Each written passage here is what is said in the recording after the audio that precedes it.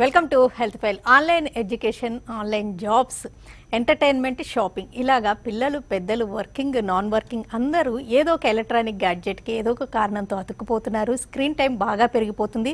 దానివల్ల eye sight మీద లేదా వాళ్ళ మానసిక పరిస్థితి మీద కూడా ప్రభావం ఉంటూ ఉంది. మరి తప్పనిసరైనప్పుడు ఐ కేర్ ఎలా తీసుకోవాలి? తలనొప్పిని ఒక కంటి సమస్యగా ఎప్పుడు భావించాల్సి ఉంటుంది. పిల్లల్లో సమస్యలను ఎలా గుర్తించగలం? ఇంతకుముందు అంతే స్కూల్కి వెళ్తే టీచర్లు గుర్తించేవాళ్ళు ఇప్పుడు మరి పేరెంట్స్ పిల్లల్లో దృష్టి దోషాలను ఎలా గుర్తిస్తే మంచిది? ఎంత త్వరగా ట్రీట్మెంట్ తీసుకుంటే మంచిది? కంటి ట్రీట్మెంట్స్లో వచ్చిన లేటెస్ట్ డెవలప్మెంట్స్ ఏంటి? ఈ వివరాలను అందించడానికి మ్యాథ్సీ విజన్ ఐ హాస్పిటల్స్ ఫౌండర్ ప్రముఖ ఆప్థల్మాలజిస్ట్ డాక్టర్ కాసు ప్రసాద్ రెడ్డి గారు మనతో ఉన్నారు. ఆయన అడిగి మరిన్ని విషయాలు తెలుసుకుందాం. నమస్తే sir. Welcome to the show. ఇంతకుముందు అంటే స్కూల్కి వెళ్తే పిల్లలు ఆ బోర్డు చూసేటప్పుడు మీ బాబు ఇలా సరిగ్గా చూడలేకపోతున్నాడండి ముందుకు వచ్చి కూర్చొని చూస్తున్నాడు. ఇలాంటి టీచర్స్ కంప్లైంట్ చేస్తే పేరెంట్స్ అర్థం చేసుకునేవాళ్ళు. ఇప్పుడు ఎలా ఉంటున్నాయి పిల్లల్లో దృష్టి దోషాలు ఎలా ఉంటున్నాయి ఎలా గుర్తించాలి పేరెంట్స్ ఎలా గమనిస్తూ ఉండాలి? ఇప్పుడు మీరు చెప్పినట్లేనమ్మా.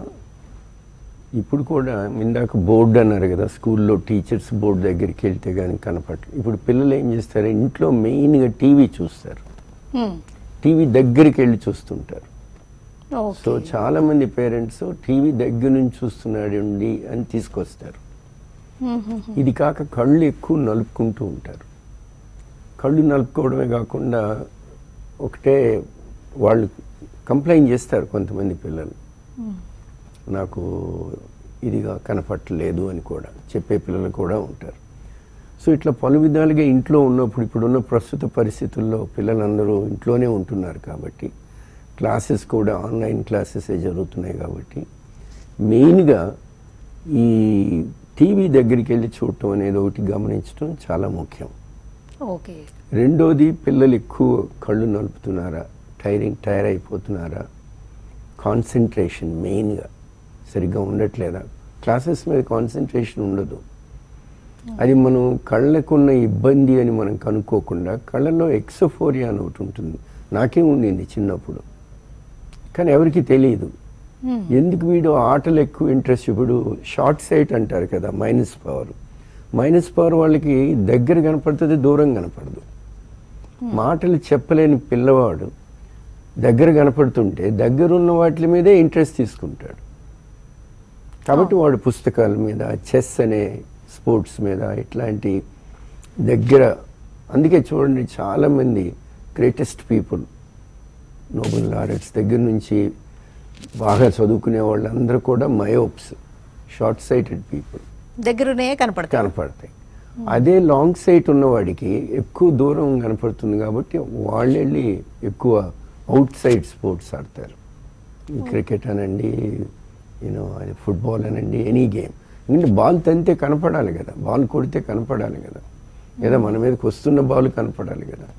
అది షార్ట్ సైట్లో కనపడదు. వాళ్ళు ఏదైనా కాంటాక్ట్ లెన్సెస్ పెట్టుకుంటేనో కళ్ళజోడు పెట్టుకుంటేనో అప్పుడే కనపడుతుంది. ఓకే కరెక్టే. అంటే వాళ్ళ హాబీస్ కూడా వాళ్ళ. సైట్ని బట్టి డిపెండ్ అయ్యి ఎగ్జాక్ట్లీ కాబట్టి మరీ చిన్న పిల్లలు నాలుగేళ్ళ పిల్లలు వాళ్ళు అసలు నోటితో చెప్పలేరు కాబట్టి మెయిన్గా మటుకు ఇంట్లో వస్తే ఈ టీవీని మటుకు గమనించాలి. నేను పిల్లలు ఇన్వేరియబుల్గా డెఫినెట్గా టీవీ చూస్తారు. అది చూసేటప్పుడు వాళ్ళ దగ్గరికి వెళ్ళి చూస్తున్నారు అనగానే మనకు అనుమానం వచ్చేయాలి. అంటే క్లారిటీ లేదు దగ్గరికి వెళ్తున్నాడు దగ్గరికి వెళ్తేనే చూడగలుగుతున్నాడు. పాప కానీ బాబు కానీ లేకపోతే ఏదైనా ఎలక్ట్రానిక్ గ్యాడ్జెట్ పట్టుకున్నప్పుడు మరీ కళ్ళకి దగ్గరగా పెట్టుకొని చూడడం అట్లాంటివి చేస్తుంటారా? దగ్గర చూపు ఉన్న వాళ్ళకి ఆ ప్రాబ్లం ఉండదమ్మా వెరీ రేర్లీ చిన్నపిల్లల్లో ప్లస్ పవర్ కూడా ఉంటుంది. అప్పుడు మీరు అన్నట్లు బాగా దగ్గరికి పెట్టుకొని చూస్తారు. సో ఇవన్నీ మనం గమనించాల్సిన విషయాలు అనమాట దీనికి అన్నిటికన్నా ముఖ్యమైన విషయం నేను ఇంగ్లాండ్లో ఇరవై సంవత్సరాలు ఉన్నాను. అక్కడ every year compulsory free eye test. అంటే అధికంగా మనం మన దేశం పెట్టుకోలేదు. కానీ మనం కూడా ఒక నూట యాభై రూపాయలు మనకి కాదంటే ఎవరో ఒక డాక్టర్ సంవత్సరానికి ఒక్కసారి కంటి పరీక్ష అనేది చాలా ఇంపార్టెంట్. నాలుగో సంవత్సరం నుంచి. ఎందుకంటే నాలుగో సంవత్సరం పిల్లలు కోఆపరేట్ చేస్తారు. పదవ సంవత్సరానికి సెట్ అయిపోతుంది చూపు. మళ్ళీ పది దాటిన తర్వాత మేము ఏం ట్రీట్ చేయలేము okay before ten years treatment before ten ఇయర్సే మన చూపు ఎస్టాబ్లిష్ అయిపోతుంది టెన్త్ తర్వాత. ఇంకా తర్వాత మనం సిక్స్టీ పర్సెంట్ చూపు డెవలప్ అయితే అంతే ఉంటుంది లేదా హండ్రెడ్ పర్సెంట్ అయితే అంతే ఉంటుంది. ఇంకా తర్వాత జరగదు. కాబట్టి ఆ స్టిమ్యులేషన్ అనేది ఒకవేళ పిల్లలు మా దగ్గరికి వచ్చినప్పుడు ఇవాళ కూడా ఒక ఒక బాబుని చూశాను. ఆ, తనకి ఏంటంటే ఆ స్టిమ్యులేషన్ కావాలి. ఒక కన్ను సరిగ్గా కనపడట్లేదు. ఒక కన్ను బాగా చూస్తున్నాడు. ఒక ఒక కంటిలోనే పవర్ ఉంది. సో పవర్ లేని కన్నే బాగా చూస్తుంది కాబట్టి స్టిమ్యులేషన్ అంతా ఆ కంటికి జరుగుతుంది. ఇది పవర్ లేకుండా ఉంది పెట్టుకోలేదు కళ్ళజోడు కాబట్టి దీనికి స్టిమ్యులేషన్ జరగక చూపు తగ్గుతుంది క్వాలిటీ. దాన్ని యాంబ్లయోపియా అంటాం. లేజీ ఐ అంటారు మామూలుగా జనరల్ టర్మినాలజీలో. ఈ కన్ను లేజీ. దానికి అట్లాంటి వాళ్ళ పిల్లలందరూ కూడా పదవ సంవత్సరం లోపల మంచు కన్నుకు మనం ప్యాచ్ పెట్టి రోజు రెండు గంటలు ఈ రెండో కన్నుతో చూడమంటే టీవీ అది స్టిమ్యులేట్ అవుతుంది. ఓకే. అయ్యి అది కూడా దీంతో ఈక్వల్గా చూపు డెవలప్ అవుతుంది. చూపు మీకు తెలుసు కదా క్వాంటిఫికేషన్. ట్వంటీ ట్వంటీనా ట్వంటీ ఫార్టీనా ఇట్లా నంబర్స్ ఉంటాయి. అంటే ఇరవై అడుగుల దూరం నుంచి ఎంత చూడ ఎంత ఎంత అక్షరం చూడగలుగుతున్నాడని దాన్ని ఒక క్వాంటిఫై చేసి ఒక టెస్ట్ క్రియేట్ చేశారు. ఆ టెస్ట్ ద్వారా మనం కనుక్కుంటాం అనమాట ఓకే. అంటే యాక్చువల్గా పెద్దోళ్ళకి మీరు ఆ టెస్ట్ పెడుతుంటారు కదండి రాగానే ఆ రీడింగ్ టెస్ట్ ఒకటి. పిల్లలకి మరి చదువు రాని వాళ్ళకి ఎలాగ నిర్ధారిస్తుంటారు? పిల్లలకి కూడా డ్రమ్లోనే వేరియస్ బొమ్మలు ఉంటాయమ్మా. ఆ బొమ్మను చూసి ఇది ఏం పక్ష లేకపోతే ఒక డాగా లేకపోతే ఇంకేంటి లేకపోతే పులినా సింహమా మంకీనా ఇట్లాగా సైజులు తగ్గించుకుంటూ పోతాం. వాటిని చూసి చెప్తారు.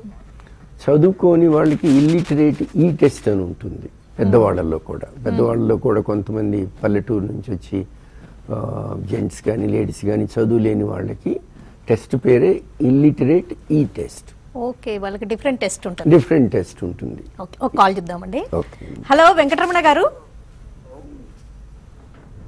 హలో? హలో? నమస్తే అండి. నమస్తే అండి. డాక్టర్ గారు వింటున్నారు మీ క్వశ్చన్ అడగండి కంట్లో చిన్న పొరలే ఉందండి. ఓకే. పొరలాగా ఉందా? అవునండి అది ఈ కన్ను అది రెప్ప వచ్చినప్పుడల్లా కంట్లో తగులుతుందండి రెప్పకి. మీ వయసు ఎంతండి? ముప్పై రెండు అండి ఓకే. పొరలాగుండి కళ్ళను కదిలించినప్పుడల్లా త- తగులుతూ ఉందండి. వెంకటరమణ గారు ఈ ఈ మీ కనపడే ఈ పొర తెల్లగుడ్డు నుంచి నల్లగుడ్డు మీదకి వస్తుందా? వెంకటరమణ గారు.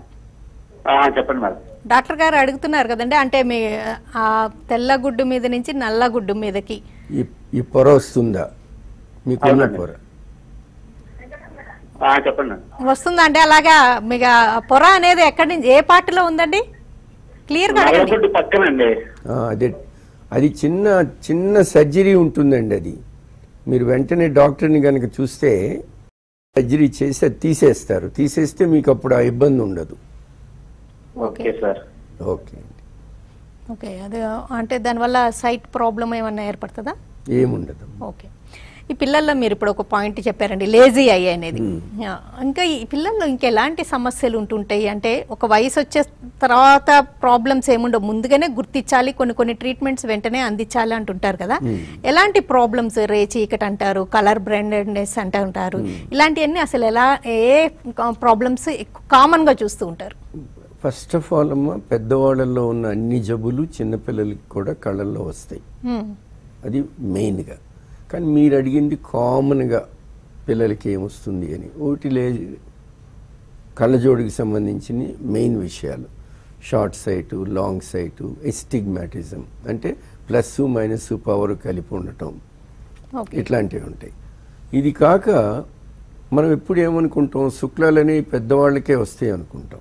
అది చిన్న పిల్లలకు కూడా శుక్లాలు వస్తాయి. పుట్టిన పసిపాపకు కూడా శుక్లాలు వస్తాయి.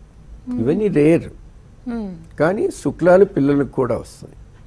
పెద్దవాళ్ళల్లో నీటి కాసులని గ్లకోమా అంటాం. అది చిన్న పిల్లలకు కూడా వస్తుంది. ఓకే. ఇంకోటి చిన్న పిల్లలు అంటే మన ఊహలో చిన్న అంటే ఎంత చిన్న? పదేళ్ళ వయసు దాటిన వాళ్ళకి కొంతమంది పిల్లలకి డయాబెటీస్ కూడా వస్తుంది. హ్మ్. ఓకే. సో అది కూడా కంటికి సం కంటిని ఎఫెక్ట్ ఇస్తుంది కాబట్టి కంటి పరీక్ష అనేది ప్రతి ఒక్కళ్ళకి ముఖ్యం. ఏ ఏజ్ రైట్ ఏజ్ అంటారు. ఐ చెకప్ ఫోర్త్ ఇయర్ నుంచి ఎవ్రీ ఇయర్ అమ్మా. Okay. Until the last minute అంటే మన జీవితాంతం. అందరూ చేయించుకోవాల్సింది. ఈ రోజున ఎట్లాగైతే అందరూ మాస్కులు పెట్టుకోవాలంటున్నామో కంటి పరీక్ష కూడా ప్రతి సంవత్సరం అందరికీ ఇంపార్టెంట్ ఇప్పుడు నేషనల్ హెల్త్ సిస్టంలో గవర్నమెంట్ కదా స్పెండ్ చేస్తుంది. ఆ, నేనున్న ఇంగ్లాండ్లో. కాబట్టి వాళ్ళు ఏం ఆలోచించారంటే prevention is better than cure అని. రేపు జబ్బు వచ్చినా మళ్ళీ గవర్నమెంటే పే చేయాలి. రాకుండా కాపాడుకుంటే అది బెటర్ కదా. అందుకని ఈ ఫ్రీ ఐ టెస్ట్ ప్రోగ్రామ్ పెట్టారు వాళ్ళు. ఓకే ఇక్కడ పేరెంట్స్ అవేర్గా ఉండి చేయిస్తే బెటర్. చేయిస్తే బెటర్ పిల్లలకి ముఖ్యంగా. కొన్ని కలర్స్ కనపడకపోవడం కానీ నైట్ అయితే కనిపించకపోవడం ఇలాంటి సమస్యలు పరిష్కారం ఉంటుందండి అవి? ఇప్పుడు నైట్ బ్లైండెస్ నైట్ బ్లైండెడ్నెస్ అనేది రేచీకటమ్మ. మనం ఎక్కువగా మన ఊళ్ళల్లో అది ప్రతి దేశంలో ఉంది. ప్రతి అన్ని రేసెస్లో ఉంది. ఈ నైట్ బ్లైండ్నెస్ ఈ రోజుకి కూడా కొన్ని కోట్లు ఖర్చు పెడుతున్నారు. మాకు ఎంతో మంది ఎన్నో కాల్స్ వస్తూ ఉంటాయి. నాకు వచ్చే పేషెంట్స్ అందరికీ నేనైతే నా నంబరే ఇచ్చేస్తాను వాళ్ళకి. ఎవ్రీ ఇయర్ ఒక్కసారి మీరు నన్ను సంప్రదించండి. ఫోన్ ద్వారా రావద్దు. కొత్త టెక్నాలజీ ఏదైనా ఉంటే చెప్తాను అప్పుడు మీరు రండి. ఓకే ప్రస్తుతం ప్రస్తుతం ఎల్వి ప్రసాద్ లాంటి గొప్ప హాస్పిటల్స్లో కానీ ప్రపంచం మొత్తం హాస్పిటల్స్లో కూడా స్టెమ్ సెల్ అనేది ఒక ప్రోగ్రాం ఉంది. ఈ రేచీకటికి ప్రయత్నిస్తున్నారు కానీ ఇంత మటుకు లేదు. ఫుల్ ప్రూఫ్గా లేదు. ఓకే. అది రేచీకటి. అట్లానే ఇంకా రెండోది మీరు కలర్ బ్లైండ్నెస్. అనేది పుట్టుకతో వచ్చేది. అది పుట్టుకతో వస్తుంది కాబట్టి దానికి అసలు ట్రీట్మెంట్ లేదు. కొన్ని ఉద్యోగాలకి వాళ్ళు అర్హత ఉండదు. సింపుల్ కామన్ సెన్స్ ఎలక్ట్రికల్ సంబంధించిన ఏ ఉద్యోగం అయినా కూడా ఈ కలర్ బ్లైండెడ్ పీపుల్ చేయకూడదు. రెడ్ ఏదో గ్రీన్ ఏదో తెలియనప్పుడు డేంజర్ కదా. అందుకని వద్దంటాం. అట్లానే ఫ్లయింగ్ ఒక ఎయిర్ క్రాఫ్ట్ మనకి ల్యాండింగ్కి వచ్చేటప్పుడు కేవలం నైట్ టైము గ్రౌండ్ మీద ఉన్న లైట్స్ని బట్టి హైట్ తెలుస్తుంది పైలట్కి.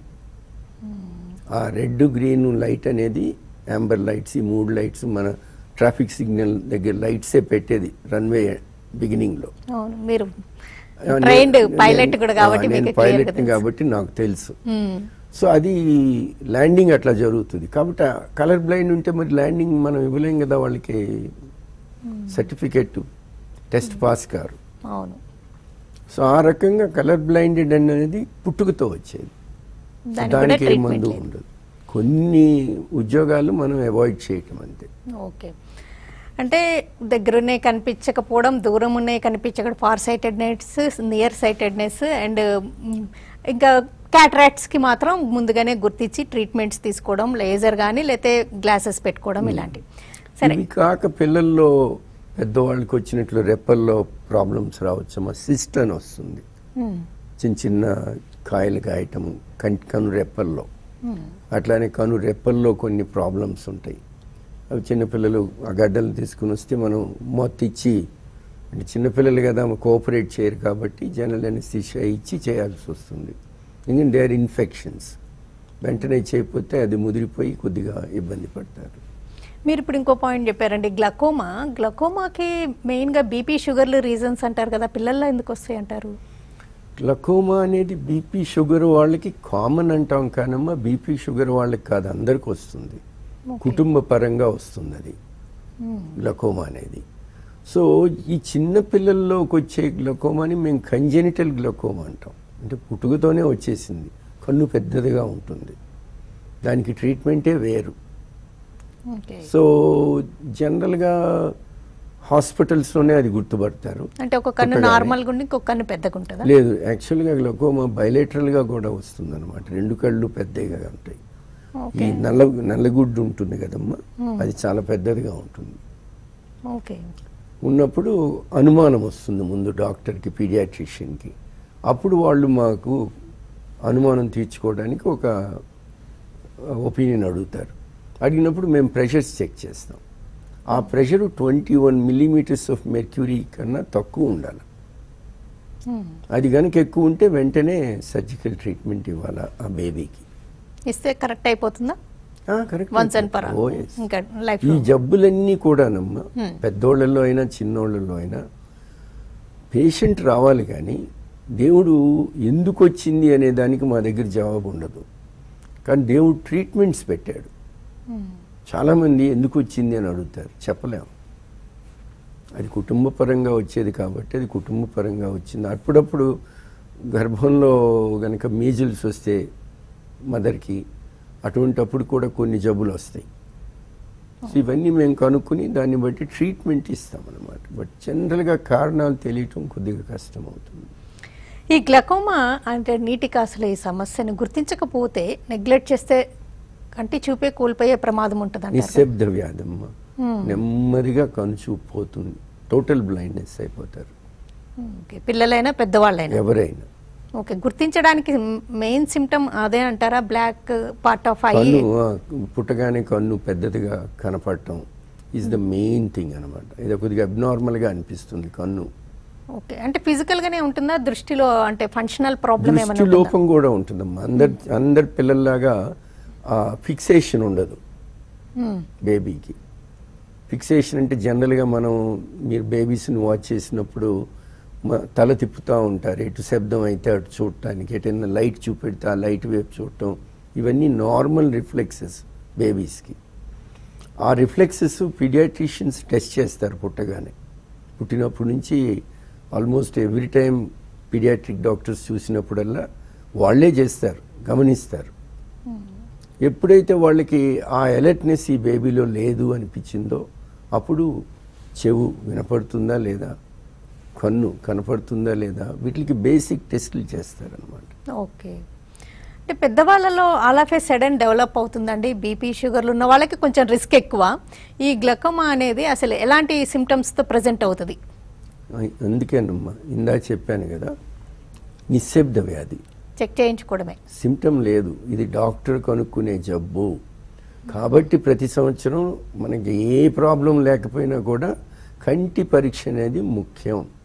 ముఖ్యంగా మన మన కుటుంబంలో గ్లకోమా ఉంటే మన కుటుంబంలో షుగర్ ఉంటే డయాబెటీస్ ఉంటే ఐ టెస్ట్ అనేది చాలా ఇంపార్టెంట్. ఓకే అంటే దృష్టి దోషాలు అంటే మీరు చెప్పిన వాటితోటి పేరెంట్స్ గుర్తించగలరు గ్లకోమా పిడియాట్రిషియన్ చెకప్ తోటి లేకపోతే కొంతవరకు ఆ కంటి సైజుని బట్టి గుర్తించగలుగుతారు. క్యాటరాక్ట్స్ అనేది కూడా మీరు కంజెంటల్గా రావచ్చు అన్నారు తెల్ల మచ్చలు కనపడతాయి. మచ్చలు కనిపిస్తే గుర్తించాలి. అంటే ఇవి పుట్టుకతో వచ్చేవి కంజెంటల్గా వచ్చేవి కొంత కొంతవరకు ఏం చేయలేము. మీ దగ్గరకు వస్తే కరెక్ట్ చేయించుకోగల సమస్యలు. ఇంకా చేజేతులారా చేసుకోవడం అంటే మరి కంటిన్యూస్గా గ్యాడ్జెట్స్ పట్టుకొని రోజులో సెవెన్ ఎయిట్ అవర్స్ చూడడం పిల్లల దగ్గర నుంచి పెద్దల వరకు వృత్తిపరంగా హాబీగా ఎంటర్టైన్మెంట్గా చాలా కామన్ అయిపోయిందండి. దీని ఎఫెక్ట్ ఎలా ఉంటున్నట్టుగా మీరు గమనిస్తున్నారు?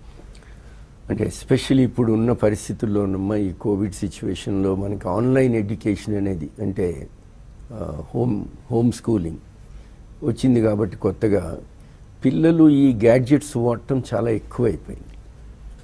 ఇంత ముందుకు మొద మొదటి నుంచి అందరం వాడుతున్నాం. మీరు మీరు అన్నట్లు అందరం ఈ గ్యాడ్జెట్స్ వాడుతున్నాం. అది కంప్యూటర్ కానివ్వండి లేదా ల్యాప్టాప్ కానివ్వండి లేదా ట్యాబ్లెట్ కానివ్వండి లేదా సెల్ ఫోన్స్ విపరీతంగా వాడుతున్నాం. ఏది వాడినా ఫస్ట్ నేను చెప్పదలుచుకుంది ఏంటంటే కంటికి ఫస్ట్ ఆఫ్ ఆల్ ఎటువంటి హాని జరగదు. ఓకే. కన్ను ఇవన్నీ కోప్ చేయగలవు. కానీ మన శరీరంకి బడలికి వచ్చినట్లే మనం అలసిపోయినట్లే కన్ను కూడా అలసిపోతుంది. ఐ ఫ్యాటిక్ ఆ, ఫెటిక్ రాకుండా చూసుకోవాలి. అంతే మనం చేయాల్సిన పని. అది పిల్లలకైనా పెద్దవాళ్ళకైనా ఎవరైనా సరే కన్ను యూజ్ చేసేటప్పుడు కంటిలో ఒక చిన్న మజులు ఉంటుంది. మన కన్ను గుండ్రంగా ఉంటుంది కదా. అట్లాంటి గుండ్రంగా ఉండే ఒక మజిల్ ఉంటుంది. ఆ మజిల్ మన కాలు మజిల్ లాగానే కొండ ఎక్కితే కంటిన్యూస్గా ఎక్కలేము. ఒక టెన్ మినిట్స్ రెస్ట్ తీసుకుంటే ఇంకో ఫర్లాంగ్ ఎక్కవచ్చు అట్లానే ఈ కంటిలో మజిల్ కంటిన్యూస్గా మనం దగ్గర చూసినప్పుడు అది ఫుల్ కంట్రా కంట్రాక్ట్ అయి ఉంటుంది అనమాట అంటే బాగా పనిచేస్తూ ఉంటుంది. కాబట్టి అది అలసిపోయినప్పుడు మనకి స్ట్రెయిన్ వస్తుంది. స్ట్రెయినే కాదు చిన్నపిల్లల్లో మెల్లకన్ను కూడా వస్తుంది. సో ఇట్లాంటి ఇబ్బందులన్నీ వస్తాయి అన్నమాట కాబట్టి ప్రతి గంటకి ఒకసారి నేను నా పేషెంట్స్ అందరికీ పెద్దవాళ్ళకి ఐటీ ఐటీ వాళ్ళకి యంగ్స్టర్స్ వస్తూ ఉంటారు అబ్బాయిలు అమ్మాయిలు. వాళ్ళందరికీ ఏం చెప్తానంటే ఇట్లా చెయ్యండి ఇట్లా చేయమని మీ ఫ్రెండ్స్ అందరికీ చెప్పండి. అదేంటంటే గంటకు ఒకసారి ఒక టెన్ మినిట్స్ బ్రేక్ తీసుకోండి. తీసుకుని ఆ టెన్ మినిట్స్ దూరం చూడండి. మళ్ళీ దగ్గర కాదు. హ్మ్. ఎందుకంటే కంప్యూటర్ కానీ ఈ సెల్ ఫోన్స్ కానీ ఇవన్నీ కూడా దగ్గర పని. ఆ దగ్గర పని చేసినప్పుడు ఈ మజులు విపరీతంగా పనిచేస్తుంది దానికి రెస్ట్ ఇవ్వాలి అంటే అది రిలాక్స్ అవ్వాలంటే దూరం చూడాలి. హ్మ్. సో నేనేం చెప్తాను ఆ పది నిమిషాలు పోయి టీవీ చూడండి. లేదా బయట సీన్ సీనరీస్ చూడండి. మనుషుల్ని చూడండి. ఏదైనా దూరం చూడాలి. అదే ఎప్పుడైతే మనం బాగా నడిచినప్పుడు కూర్చుంటామో అలాగే సైట్ ఇప్పుడు అదే ఆన్లైన్ ఎడ్యుకేషన్ ప్రోగ్రామ్స్లో మనం పిల్లల్ని ఇంట్లో చదివించేటప్పుడు తల్లిదండ్రులు ముఖ్యంగా అసలు టీచర్స్ కూడా క్లాసెస్ మధ్యలో break ఇవ్వాలమ్మా. I think they are giving break okay కానీ ఆ బ్రేక్ ఇచ్చినప్పుడు అక్కడ టీచర్స్ ఉండరు కదా. తల్లిదండ్రులు ఉంటారు కదా. వాళ్ళు పిల్లలు దూరం చూసేటట్లు చూడాలి. నేను చెప్పే చిన్న చిట్కా ఏంటంటే ఆ దూరం చూడాలంటే పిల్లలకి మళ్ళీ ఇంట్రెస్ట్గా టీవీనే. ఓకే. కొంచెం దూరంగా చూడడం బెటర్ ఏదైతే చూడాల. స్క్రీన్ అయినా వన్ అవరు దగ్గర స్క్రీన్స్ మీద ఉన్నారు. చాలా మంది ఎఫోర్డబిలిటీ లేక సెల్ ఫోన్స్ యూజ్ చేస్తారు. ఈ ఆన్లైన్ ఎడ్యుకేషన్కి ఆ సెల్ ఫోన్స్ కొన్ని క్వాలిటీ సరిగ్గా ఉండవు. అది కూడా మరి మనం సరైన క్వాలిటీ అసలు వాడకుండా ఉంటే మంచిది. ఈ కంప్యూటరో లేకపోతే కంప్యూటర్ కాకపోతే ల్యాప్టాపో ల్యాప్టాప్ పోతే లేకపోతే ఏదైనా ట్యాబ్లెట్ అట్లాంటి యూజ్ చేయటం బెటరు. ఐ డ్రాప్స్ ఎవరికి వాళ్ళు కొనుక్కొని వాడుతూ ఉంటారండి? లూబ్రికెంట్ డ్రాప్స్ జెల్స్ ఇట్లాంటివన్నీ సేఫేనా అంటారా? All lubricants are absolutely safe అమ్మా. ఓకే. As far as their allopathy drops ఎందుకంటే కొన్ని కోట్లు ఖర్చు పెట్టి వాటిలో ఉన్న సైడ్ ఎఫెక్ట్స్ కాంప్లికేషన్స్ అన్నీ తీసేస్తారు కాబట్టి వాటిల్లో కూడా అలోపతిక్ డ్రాప్స్లో కూడా ప్రిజర్వేటివ్స్ ఉంటాయి. ప్రిజర్వేటివ్ ఫ్రీ ఐ డ్రాప్స్ కూడా ఉన్నాయి కొద్దిగా ఎక్స్పెన్సివ్ కాబట్టి అట్లాగ డిజైన్ చేసిన డ్రాప్స్ అన్నీ కూడా చాలా సేఫ్ ఓకే పిల్లల సైట్ ప్రాబ్లమ్స్కి లేజర్ ట్రీట్మెంట్స్ ఇలాంటి వాటిలో మీరు చాలా పయనీరు చాలా ఎక్స్పర్ట్ సింపుల్గా చేసేస్తూ ఉంటారండి అయితే still eighteen years twenty one years దాకా ఆగాల్సిందేనా? ఈ సైట్ కరెక్షన్స్కి ఇప్పుడు కొంచెం చిన్న వయసు వాళ్ళకి కూడా చేయగలుగుతున్నారు? లేదమ్మా కంపల్సరీగా ఇది it is to do with the Indian average height okay మన పిల్లలు ఆడపిల్లలు పద్దెనిమిదవ సంవత్సరం ఇంకా హైట్ పెరగరు జనరల్గా సో వాళ్ళకి మేము నైన్టీన్త్ ఇయర్ అంటాను నేను నా మటుకు నేను అందరం కూడా. అదే మగపిల్లలు అయితే ట్వంటీ ఎయిత్ ఇయర్ సో వాళ్ళకి మనం ట్వంటీ ఇంకొక ఇయర్ యాడ్ చేసి ట్వంటీ ఫస్ట్ ఇయర్ తర్వాత చేయించుకోమంటాం. ఓకే ఎందుకంటే మనకి పెరిగే సైటు మనతో పాటు సైట్ పెరుగుతూ ఉంటుంది హైట్తో పాటు. అందుకని హైట్ స్టెబిలైజ్ అయిన తర్వాత చేస్తే అది జీరో అయిపోతే జీరోగానే ఉంటుంది. ఓకే. లేకపోతే పదిహేను ఏళ్ళప్పుడు చేసామనుకోండి ఆ తర్వాత ఒక వన్ అండ్ హాఫ్ ఇంచెస్ పెరిగితే మళ్ళీ పవర్ వస్తుంది. అంత పెట్టిన ఖర్చు అంతా వేస్ట్ అయిపోతుంది. ఓకే. వీళ్ళు సైంటిఫిక్గా అంటే రైట్ ఏజ్లో లేజర్ ట్రీట్మెంట్ తీసుకుంటే మాత్రం లైఫ్ లాంగ్ సొల్యూషన్. హ్యాపీగా కళ్ళజోడు లేకుండా ఉండొచ్చు. ఓకే. ఓకేనండి doctor Kashiprasad Reddy garu. Thanks a lot అండి. థ్యాంక్స్ అమ్మా.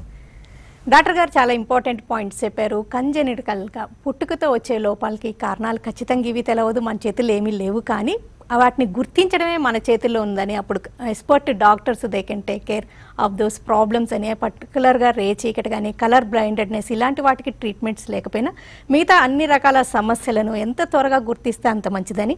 అయితే ఎలక్ట్రానిక్ గ్యాడ్జెట్స్ దగ్గరగా పెట్టుకొని చూస్తున్నప్పుడు తప్పనిసరిగా కొంతసేపు దూరంగా చూసేటట్టు చేయడం కొంచెం ఐ ఫెటిక్ లేకుండా చూసుకోగలగడం. సమస్యలను ఎంత త్వరగా గుర్తిస్తే అంత మంచిది కాబట్టి సైట్ ప్రాబ్లమ్స్ ఏ ఉన్నా కానీ పిల్లల్లో టూ ఫిఫ్త్ ఇయర్స్ నుంచి ఒకసారి చెకప్ చేయించడం డాక్టర్ సలహా మేరకు ఫ్రీక్వెంట్గా చెకప్స్ చేయించుకోవడం.